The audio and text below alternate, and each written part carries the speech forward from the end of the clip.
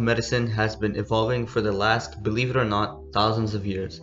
It has been quite a complicated journey for all sorts of scientists and physicians. In today's day and age, modern medicine is quite advanced, with so many different practices, tools, and new discoveries that have been made over the years. Modern medicine, or medicine as we presume today, began to emerge after the Industrial Revolution. The Industrial Revolution occurred during the 18th century around the year 1790 all the way to the year 1870. So what exactly was the Industrial Revolution? The Industrial Revolution was the transition from hands-on production processes all the way to machinery that would do the work for us humans. It occurred heavily throughout Europe and the United States of America. So what was included? The transition involved moving away from most hand production methods.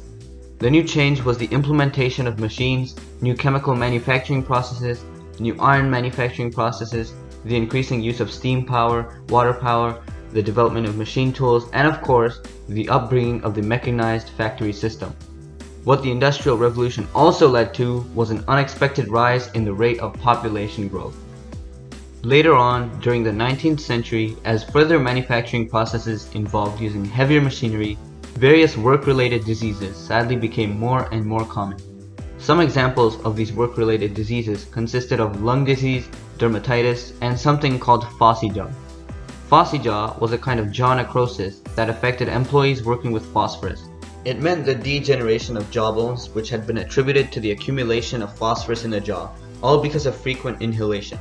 A painful and chronic condition, the victim's gum would become red, swollen, and inflamed, and the jawbone would begin to decay and infect the surrounding areas further. Because there were no medications to treat phossy jaw, it took years for the condition to make it to the final stage, where surgical treatment was required. This condition usually occurred in the matchstick industry, where phosphorus levels were high. During the 19th century, there were many new diseases and breakthroughs. However, there were communications and political changes where knowledge about medicine was spread and health was made a human right. Speaking of surgery, what exactly is it? Surgery is a medical or dental specialty, and it uses instrumental techniques and operative manual on a person to investigate and treat a pathological condition.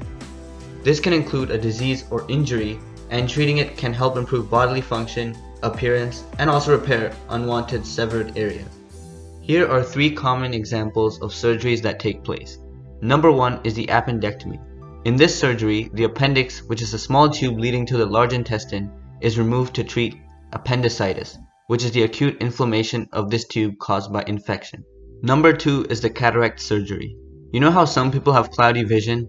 To solve that problem, the cataract surgery consists of the removal of the cloudy lens. It is then replaced with a clear artificial lens implant. And number 3 is the tonsillectomy. This involves the removal of either one or both of the tonsils, which are located at the back of the mouth. Your tonsils help fight infections.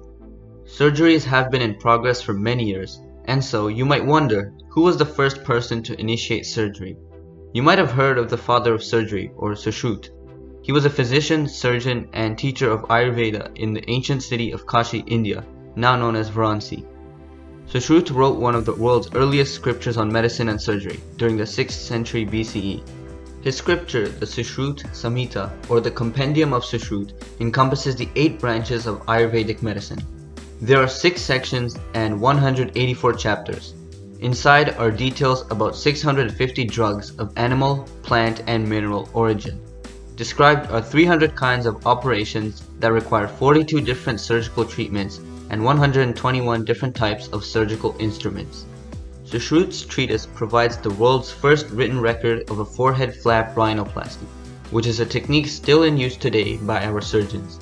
When translated, his procedure for a forehead flap rhinoplasty states First, the patient is given the required quantity of wine until he feels unconscious. Then, the length of his empty portion of the nose is measured with a leaf. A flap of skin from the forehead, the same as the size of the nose, is dissected. The nostrils holes are closed but still allowed to breathe. Then the dissected flap is now placed in the position of the nose. The flap of skin is now molded into the exact shape and then stitched with the support of the cheeks. The skin thus properly adjusted should then be sprinkled with a powder of licorice, red sandalwood, and barberry. Finally, it should be covered with cotton and clean sesame oil should be constantly applied. For 5 to 6 days after the operation, the patient is made to lie on his back, and on the 10th day, bits of soft cloth are put into the nostrils to keep them sufficiently open. Further procedures can be followed if the nose is not in the required shape. This was Sushruth's procedure for performing a forehead flap rhinoplasty, and the same process is conducted today in modern medicine. As you can see, surgery has come a long way. The father of surgery, Sushruth, has been a crucial pioneer in the field of medicine. Well, that's the end of our video today. We hope you enjoyed and make sure to like, subscribe, leave a comment down below, and share the real story with others. See you in the next one.